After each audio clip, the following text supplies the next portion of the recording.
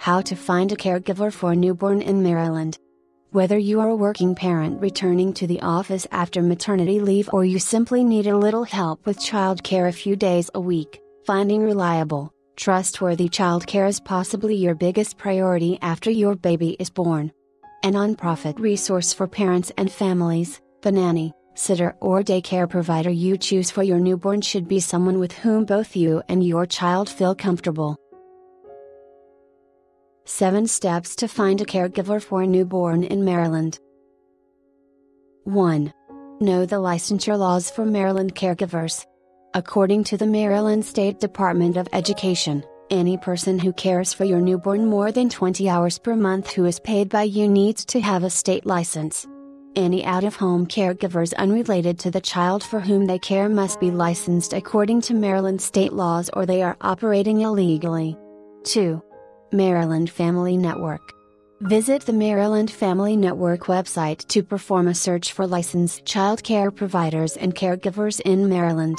By clicking on the Do Your Own search link, you will be able to locate a comprehensive list of licensed caregivers in Maryland.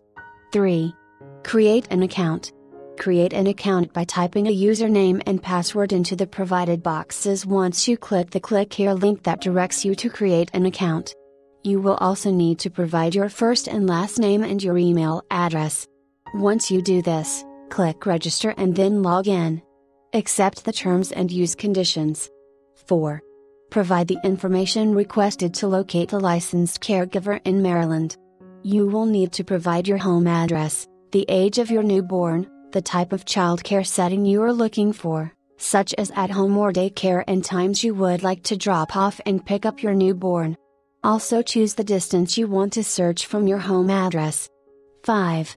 Look at list and choose one. Peruse the list of childcare providers licensed in Maryland, and choose the ones who look promising to you. You will want to notate the names, addresses, and contact information of each provider you find promising and call each one to talk. 6. Ask questions that you find important when speaking to childcare providers. Some important questions aside from asking to see state licenses, include asking how each caregiver would soothe your crying baby, feed the baby, discipline children, whether or not she smokes, if she has children of her own, if she has experience with newborns and what type of training she has. 7. Talk to other parents who use the same provider, if you can.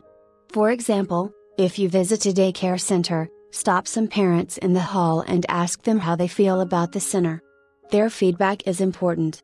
You will want to feel comfortable, and you will want your newborn to feel comfortable with his new caregiver.